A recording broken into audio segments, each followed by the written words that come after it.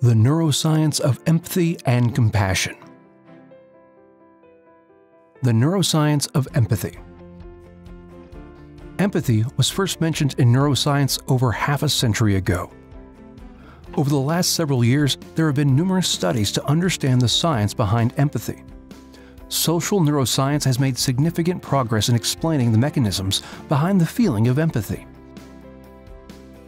Although numerous studies examine the neural mechanisms underlying empathy in humans, they largely focused on experience sharing and mentalizing due to the complexities of how we function.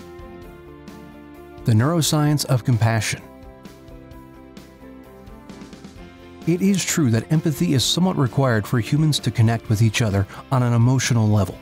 However, to be prosocial, it is important to take empathy to the next level. In other words, being empathetic to someone does not motivate a person to move forward. That is where empathetic concern or compassion garners attention in social neuroscience. Compassion is defined as a complex internal state characterized by prosocial motivation to improve another person's life or condition. Compassion training is really professional coach training. In the development of a number of interpersonal and intrapersonal skills and leads to increased cooperation, trust, and the ability to empower another, as well as improved psychological well being and emotional health. Deepening our ability to have compassion improves our ability to effectively help others. Comparing empathy and compassion. A notable study about empathy and compassion by neuroscientists Tania Singer and Olga Klimecki examined different experiment groups for compassion and empathy, revealed how the brain reacts to both. The two types of training have led to different emotions and attitudes towards action. The group which trained for empathy found the feeling uncomfortable and troublesome. On the other side, the group that trained for compassion was able to create positivity among the group members. This group exhibited more kindness and was more eager to help others compared to the empathy group. Here's the takeaway. By improving our ability to provide compassion to others, which are essentially coaching skills, we can better cope with responses from other people and help them more. In Klimecki's words, our emotions are not set in stone.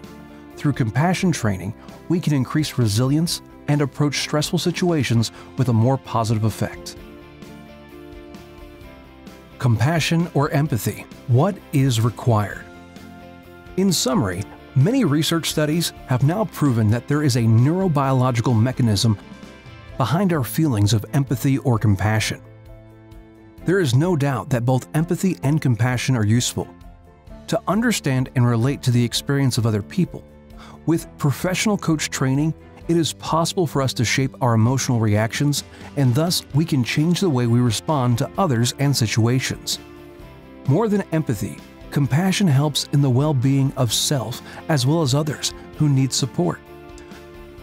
Compassion helps us to increase our resilience, improves social connections, and helps us in overall well being.